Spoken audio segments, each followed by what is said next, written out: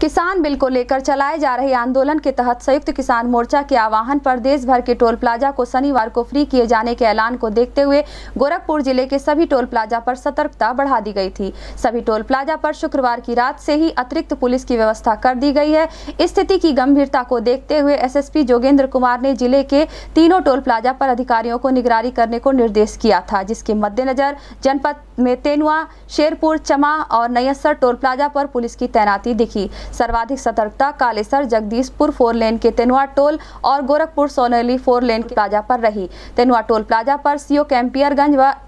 ASP Rahul Bhati मौके पर जमे रहे और निगरानी करते रहे। इस संबंध में गोरखपुर न्यूज़ से बात करते हुए एएसपी राहुल भाटी ने कहा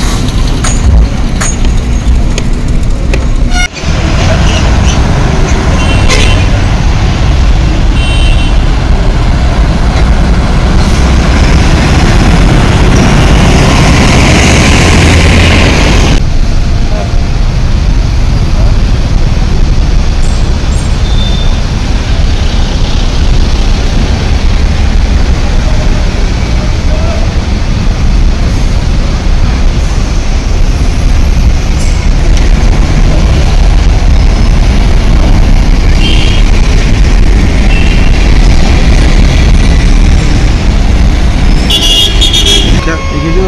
राष्ट्रीय स्तर पर जो तीन बिल के विरोध में किसानों द्वारा जो विरोध प्रदर्शन किया जा रहा है, उसी में किसी तरह की असामाजिक तत्वों द्वारा, किसी तरह की आवागमन में या किसी व्यापार में या लोगों के आने जाने में किसी तरह की कोई रुकावट उपलब्ध ना हो, उसी के चक्कर में ये सारी फोर्स तैनात की गई।